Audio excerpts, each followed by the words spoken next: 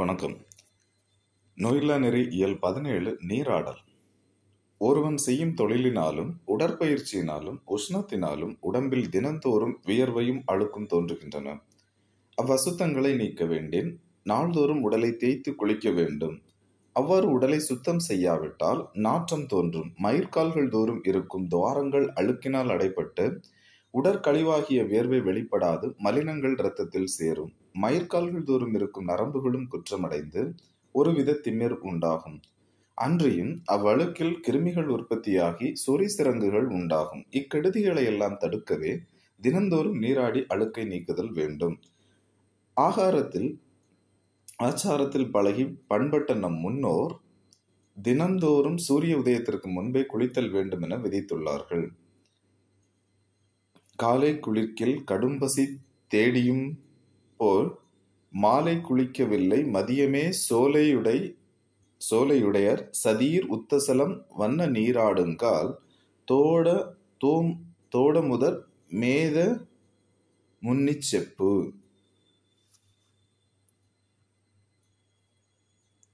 என்னும் இச்செய்யுளினாலும் காலையில் குளித்தலே சிறந்தது என அறிகின்றோம். ஆனால் பகலில் உஷ்ணத்தினாலும் உழைப்பினாலும் தோன்றிய அழுக்கு வியர்வைகளை நீக்க மாலையில் உறுப்புகளை கழுவுவது அவசியமாகும். அதிக உழைப்பாளிகள் இளம் வெந்நீரில் அங்கங்களை கழுவுவதை கழுவுவதை விட குளிப்பதே நன்று. இதனால் அவர்களுக்கு சுக நித்திரையும் உண்டாகும்.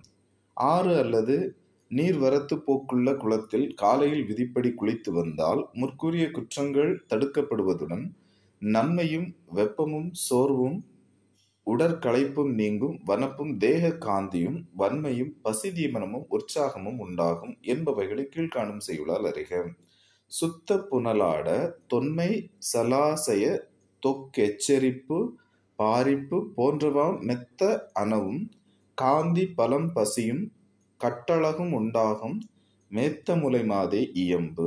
நதி முதலியான நதி முதலியன இல்லாத இடங்களிலும் அவைகளில் குளிக்கக்கூடாத காலங்களிலும் எட்டு அடி சதுரமாகவும் மூன்று அடி உயரமாகவும் உள்ள நீராடு தொட்டியில் தூய நீரை நிரப்பி அதில் அமிழ்ந்து குளிக்கலாம். இதனால் இதனை ஆறு மடுவில் அகர் முகப்பாடு தரு காறு மடுவின் நெய்ப்ப பாடுதரு கேருமடி பெட்டகத்து நற்சதுர வேற்றமுன் விருப்பமோர் மட்டகத்து தொட்டியனை வார்.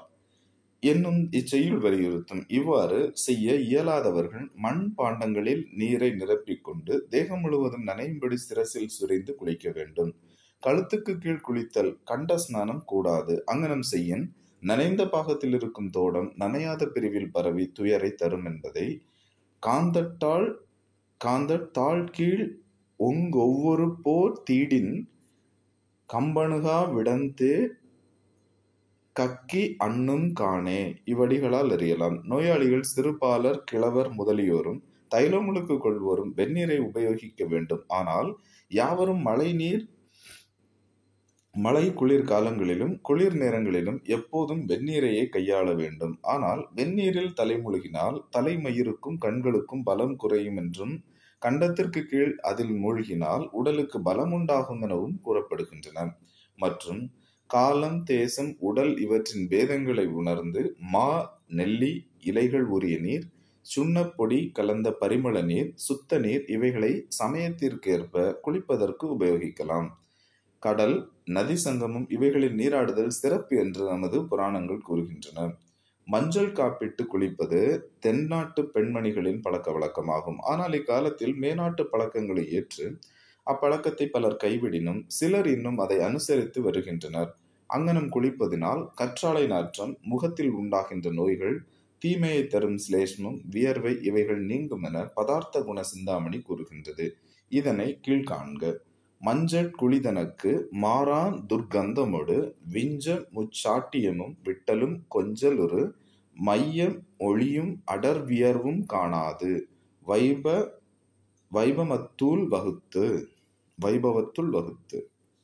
மற்றும் பஞ்சகற்ப விதிப்படி கஸ்தூரி மஞ்சள் மிளகு வேப்பம் வித்து கடுக்காய்த்தூள் நெல்லிப்பருப்பு இவைகளை காராம்பசுவின் பால் விட்டரைத்து கொதிக்க வைத்து சிரசில் தேய்த்து கொண்டு தலைமுழுகி வர எந்நாளும் பிணிகள் வாராது என்று கூறியிருப்பதை கீழ்காணும் செய்யுள் உணர்த்துகின்றது. மிருகமதம் பித்தமணி வேம்புகடு நெல்லி கருவானின் பாலரைத்து காய்ச்சி சிரசிலிட விங்கற்ப நோய்க்குமிடமென்றாம் மெஞ்ஞான்றும் ஐங்கற்ப மீதே அறி எண்ணெய் முக்கூட்டினை பசு எண்ணெய் முக்கூட்டினை பசுவினை உயர்ந்த தைலங்கள் முதலியவைகளை எட்டு தினங்களுக்கு இருமுறை தேய்த்து முழுகி வர எந்த ரோகமும் தேகத்தை வருத்துவதற்கு அதிகாரமில்லை என்றும் எண்ணெய் முழுக்கு செய்த தினம் பலக்குறைவாய் தோன்றினாலும் பஞ்சேந்திரியங்களுக்கு பலம் தெளிவு சிரசு முழுக்காட்டிற்கு வன்மை ரோக வளர்ச்சி நற்றொழி இவற்றை உண்டாக்கும் என்றும் தலைவலி விடும் என்றும் கூறும் இரு செய்யுள்களை கீழ்காண்க எள்ளினையும் முக்கூட்டு நெய்யும் நெய்யும் ஆனையும் வில்லு நை தைலாதி என வீரனையும் உள்ளபடி வாரம் தனக்கிருநாள் தைலத்தாடின் நோய்கள் அதிகார தனக்கிடம் தனக்கிடமில்லை காண்க. தலைமுழுக்காற் சென்னி முழந்தாளிவை நீங்கா பலமுண்டாம் கேசம் படரும் தலைநோய் போம் பஞ்சேந்திரியம் பலத்து தெளிவையுறும். எஞ்சா தொனியும் எழும் எண். அன்றியும் தினந்தோறும் அப்பியங்கனம் செய்ய தோல் வறட்சி நீங்கி பளபளப்பும் தேகபுஷ்டியும் உண்டாகும். சோம்பல் தனி கபநோய் திரிதோட தொந்தம் அரோசகம் தந்த நோய் இவை விலகும் என கீழ்வரும் செய்யுள் கூறுகின்றது.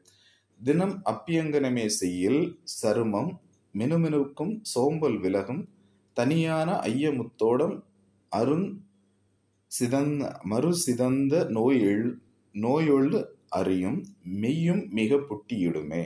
மலையாளிகள் தினந்தோறும் எண்ணெயிட்டு முழுகுவதால் அவர்களுடைய கூந்தல் கருப்பாயும் தோல் மினுமினுப்பாயும் இருப்பதை காண்கின்றோம்.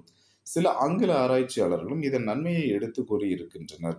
தமிழ்நாட்டில் ஆண்கள் பாலர்களும் சனி வாரத்தன்றும் பெண்கள் சுங்கி வாரத்தன்றும் எண்ணெய் தேய்த்து நீராடுகின்றனர். சிலர் வாரத்திற்கு இருமுறையும் செய்கிறார்கள் சிலர் அப்பழக்கத்தை அறவே ஒழித்து விட்டார்கள்.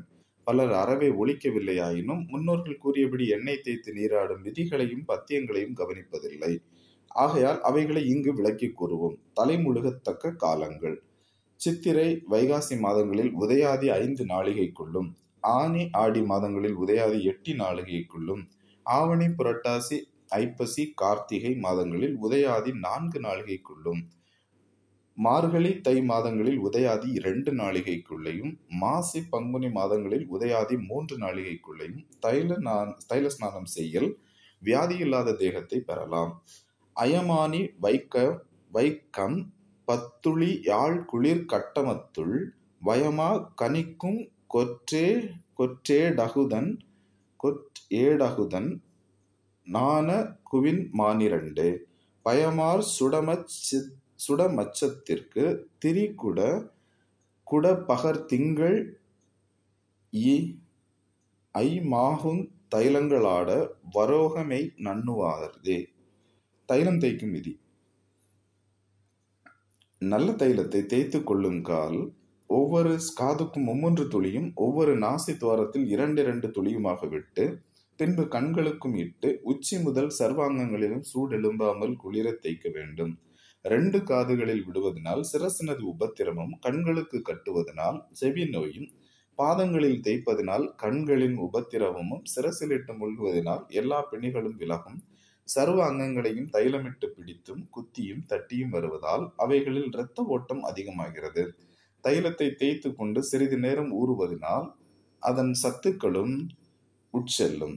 அரைப்பு வகை. உயர்ந்த தைல வகைகளுக்கு சிகைக்காயும் ஈங்கை பட்டையும் பசுவின் நெய்க்கு பச்சை பயரும் எண்ணெய்க்கு மணிப்புங்கின் காயும் உடும்பு காக்கை பன்றி இவைகளின் இறைச்சிகளை உருக்கி எடுக்கும் நெய்களுக்கு சிறு காரைச்செடியின் சமூல சூரணமும் சொறி சிறங்குகளுக்கு உசிலந்தூளும் ரணங்களுக்கு இலுப்பை பின்னாக்கும் அரைப்புகளாகும். இயற்கை இயற்கை கீழ்வரும் இதனை கீழ்வரும் செய்யுளால் அறியலாம். சீக்கிரான் தூள் விரணம் தேகர் கரைப்பாகும் ஆக்கில் உப்பை கட்டிச் சொறியாளர்க்கு தூக்கு மணி புங்கரைப்பும் சீயக்காயும் போக்கடிக்கும் எண்ணெயை கங்குலுரை உத்தமின்னே கான் சீக்காயும் கைத்துவக்கும் சீரார் தையில் வகைக்காம் அரைப்புண் வறட்சி தொகைக்காகும் சோடி விரு பைத்தியம் சொல்லரைப்பாம் நெய்ச்சு நெய்க்கு முற்கு தேடியறை பாகும் தெளி. கொடியூனுருக்கு நெய்க்கும் கோர வெளிற்றுக்கும் கிடியூனுருக்கு நெய்க்கும் கிட்டான் தடியூனுருக்கு நெய்க்கும் காரை அறப்போர் மணிப்புங்கும் எண்ணிருக்கும் நெய்க்கும் காரை அரைப்பேன் இப்போது மக்கள் வாசனையுள்ள சவுக்கார கட்டிகளை உபயோகிக்கின்றார்கள்.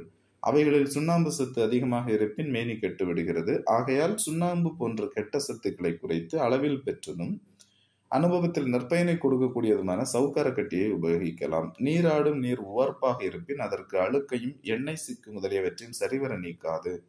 அப்போது சவுக்கார கட்டிகளை உபயோகித்தல் கூடாது. முற்கூறிய அரைப்பை அரைப்பு வகைகளையே உபயோகித்தல் வேண்டும். சுத்த ஸ்நானத்திற்கு மனமுள்ள அரைப்பு வேண்டுமானால் பாசிப்பயிறு வெட்டிவேர் சந்தனம் குறைக்கிழங்கு கார்போகி குருவேர் குருவேர் என்றால் விளாமிச்சம் கிச்சிலி கிழங்கு முதலிய சரக்குகளை சேர்த்திடித்த நலங்கு மா என்னும் சூரணத்தை உபயோகிக்கலாம்.